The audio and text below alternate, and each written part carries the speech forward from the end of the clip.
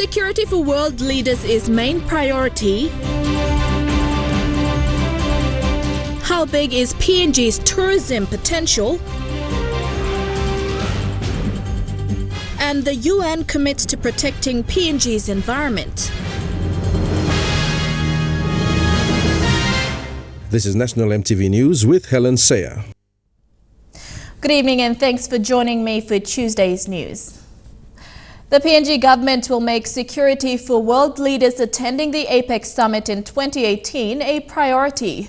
A security meeting was conducted in Port Moresby today to ensure logistical planning and the transport system is perfected. This is the eighth security meeting between members of the diplomatic corps military partners, and other international and national law enforcing agencies.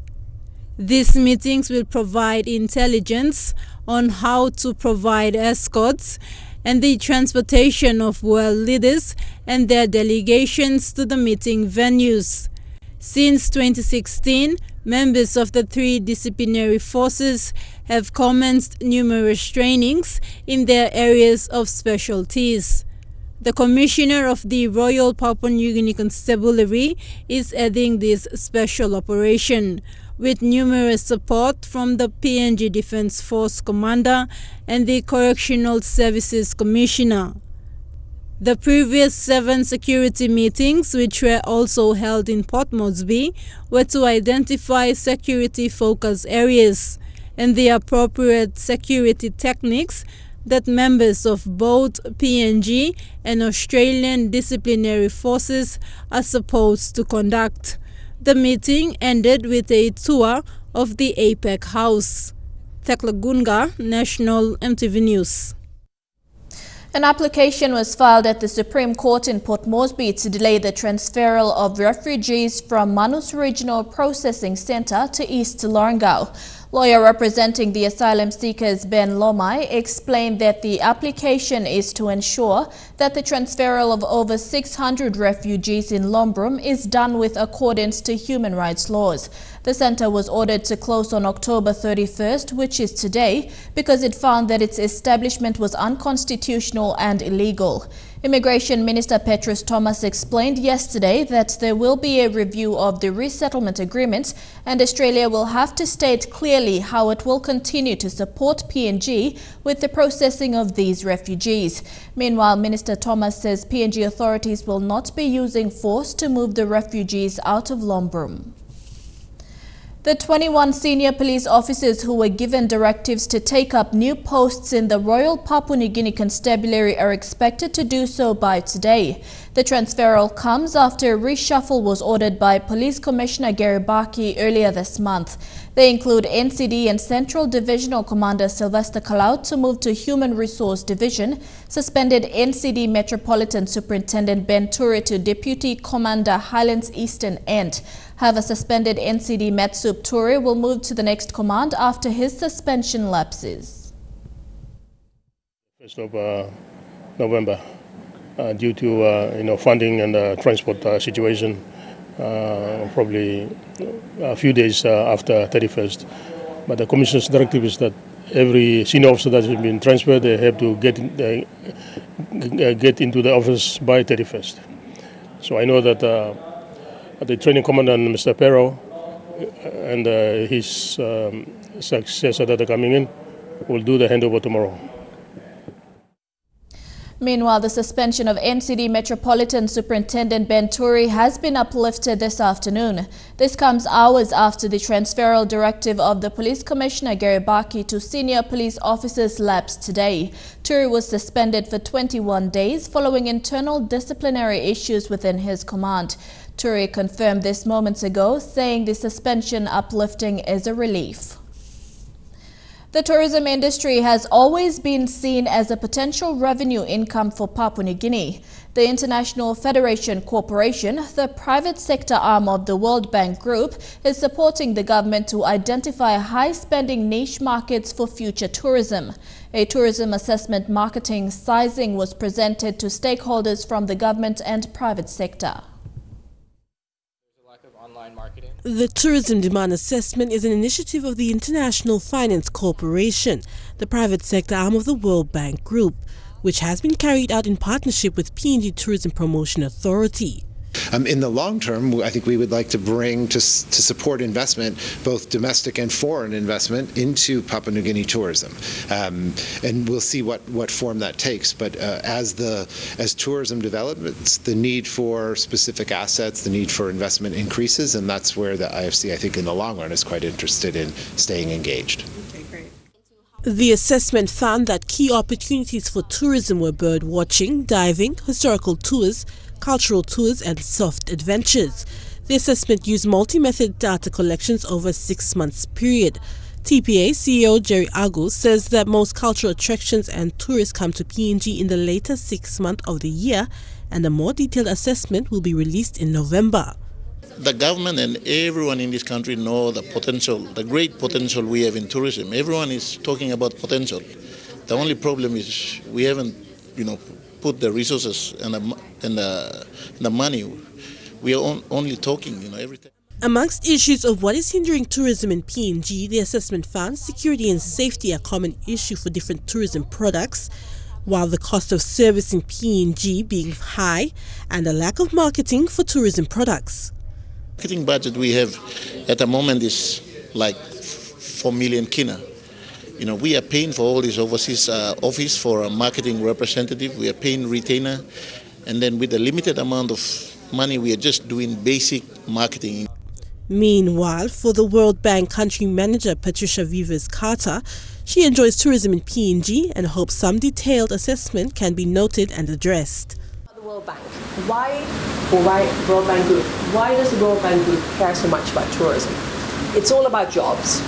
So every year, 30,000 young people graduate from high school.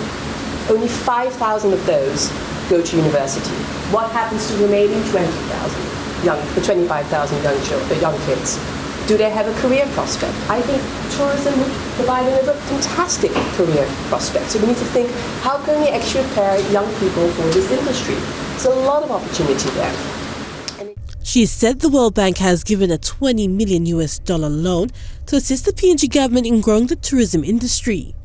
So, uh, yeah, I did mention we have just approved a $20 million loan uh, to Papua New Guinea, and that very much will focus on two areas, two provinces, um, uh, Bay um, and also um, East New Britain.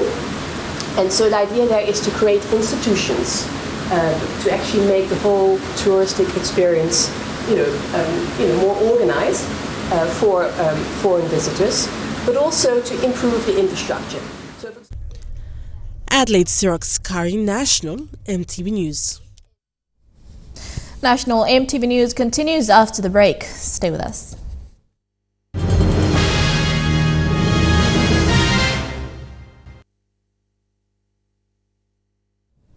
Welcome back. Kerevat National High School is one of the oldest in the country and confident to produce better academic results this year.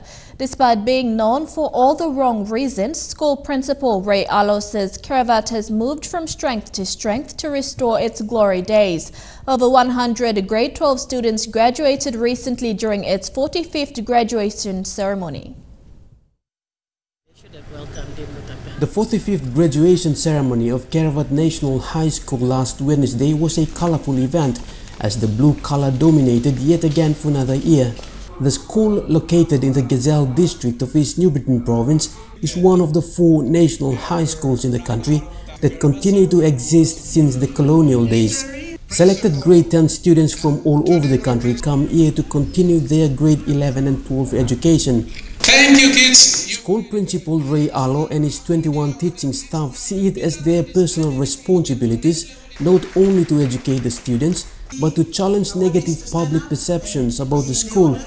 This is really never-ending year for me. Very tough year. I got the kids in this Kerevat National High School was once known for all the wrong reasons, a cult movement, the deteriorating infrastructures, and a school that almost had all its money depleted through alleged corruption had put the institution at the brink of collapse. Although it was temporarily closed in 2011, It was reopened a year later and had been in operation ever since. But that is now a thing of the past, the principal says. We are ranked one out of 156 secondary schools who produce great walls. At this formal send-off last week as the students prepared to go back to where they came from, they were asked to remember that they have been part of this school that produced politicians who helped chart the future of Papua New Guinea in the pre-independence days. For the principal and the teachers, their only aim is to continue producing better academic results and restore Kerevat National High School back to its glory days. Edwin Fidelis, National MTV News, Kokopo. A teacher in the autonomous region of Bougainville has thanked the National Education Department for applying the rule of zero tolerance on cheating. She says security control on national examinations is a further step to minimize cheating.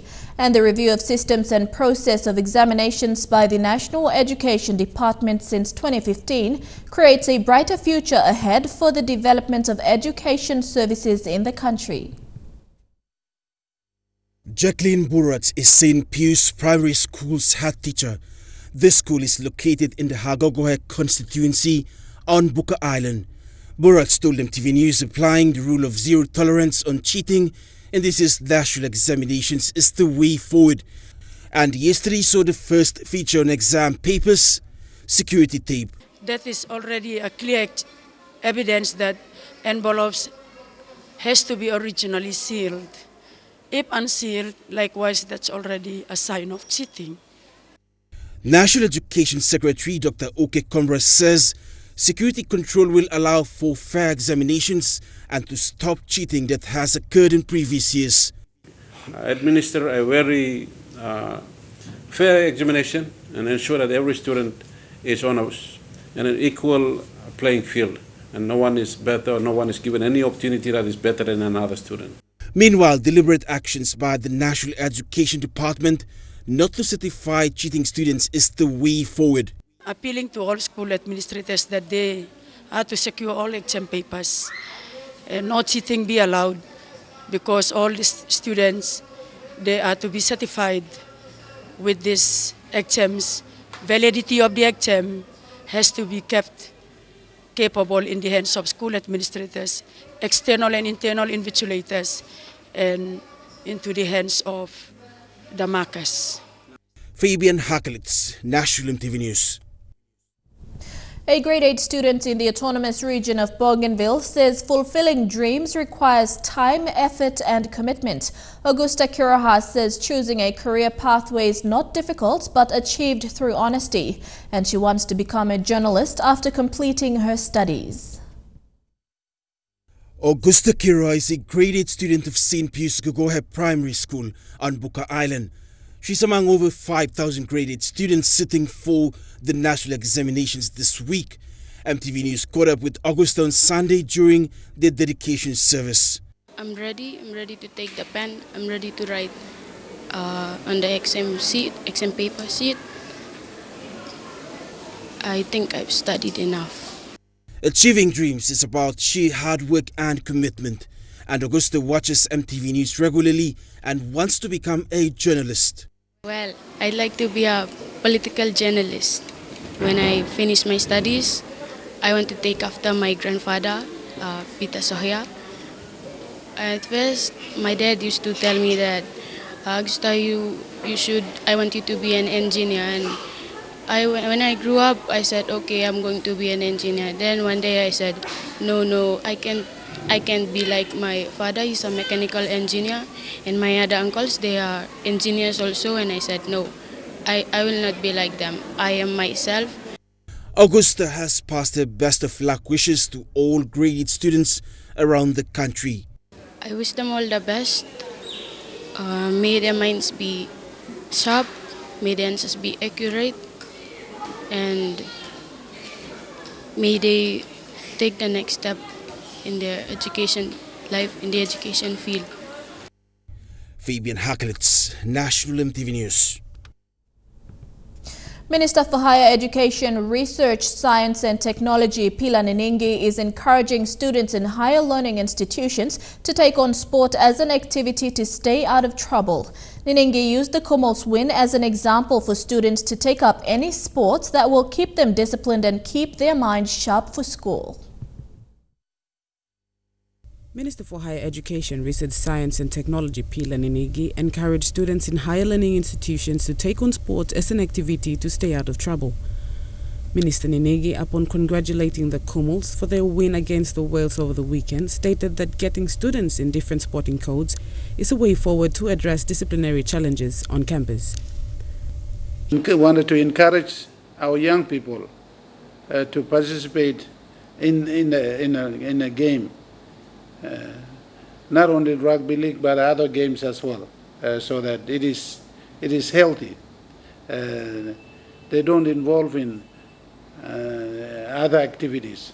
so sports is the way, and sports it must be taken as one of the curriculums that he said while in his capacity as the minister responsible for higher education, he will make sure students are involved in sports so there are new talents to scout for the country's many national teams.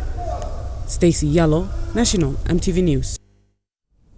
The sixth contestant in the Miss Pacific Islands pageant PNG was announced today in Port Moresby. 25-year-old Esther Iger is the latest and final entrant for the Miss Pacific Islands pageant PNG 2017. She is being sponsored by KTK Accountants and Advisors Limited. Kuna Taberia Kirawi Accountants and Advisors, an accounting firm based in Port Moresby, has jumped on board to support the Miss Pacific Islands pageant. Its contestant, Miss Esther Iger, comes from a family of five and is a senior work permit and visa consultant at Pelamo Consultancy Service, a small SME company owned and operated by her mother. As part of her campaign, the three key aspects Ms. Iger aspires to advocate on are education, health, and safe sex education. The reason why I joined um, to be the contestant on Miss PNG was to empower young women. Would like to thank my sponsor, KTK. Thank you for believing in me to be and uh, represent your company. Um, as you can see, there's mostly women in your company, and that empowers me to do something and help others too. Miss Katie KTK's wardrobe will be designed by Elizabeth O'Mary of Denani Designs. Chairperson of the MPIP PNG Committee, Mrs. Molly O'Rourke, thanked KTK associates and advisors as well as Miss Iger for supporting the pageant and the cause it stands for. This pageant is um, stands for empowering women through education. So the Miss Pacific Islands um, pageant has got a scholarship fund, and every year we um, open, we send out um, nominations forms to eligible participants. Are the Yesterday, corporate apparel and fashion wear company Kabaka Limited, trading as After Dark Fashions, announced its contestant 26-year-old Rachel Ezekiel. A total of six contestants have been confirmed to participate in this year's pageant. The crowning ball of the pageant will be held on November 11th at the Crowne Plaza in Port Moresby. In PNG's six years of participating in the Miss Pacific Islands pageant, Abigail Havora is the only contestant that has claimed that title in year 2015. The United Nations Development Programme will continue to support the programs that protect Papua New Guinea's flora and fauna. Resident Representative Roy Trivedi says the support is on environment conservation and protection of endangered species. He said UNDP will work closely with the government and other organizations involved in such programs.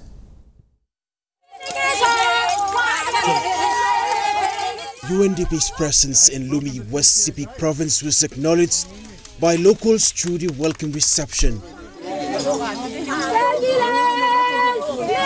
Welcome.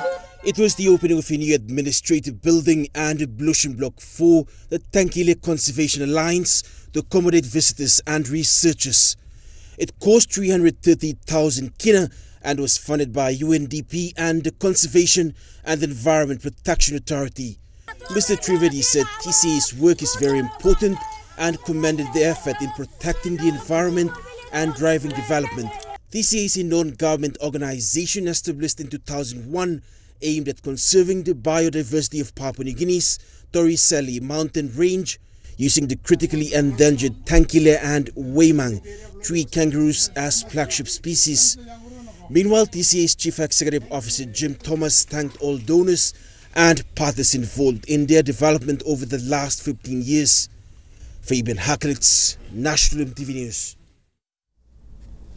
Ten years after the signing in 2007 has seen the renewal of contract between Oil Search Limited and Air Niugini's subsidiary Link PNG for the fixed-wing aircraft services for domestic and international route.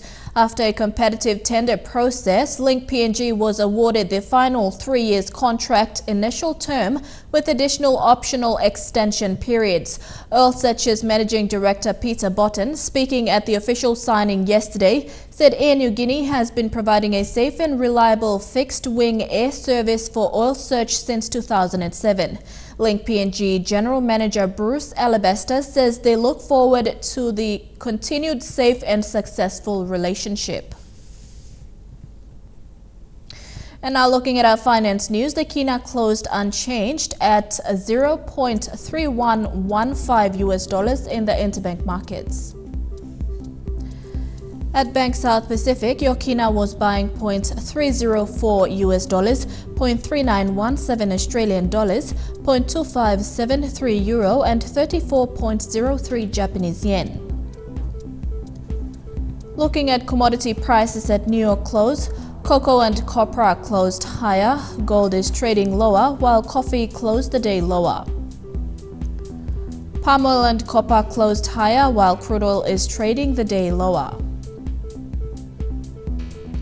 And on the stock market, the Dow Jones closed at 85.45 points lower, the ASX closed at 10.08 points lower, and the Ordinaries closed at 7.32 points lower. Stories making headlines overseas when we come back. Stay with us.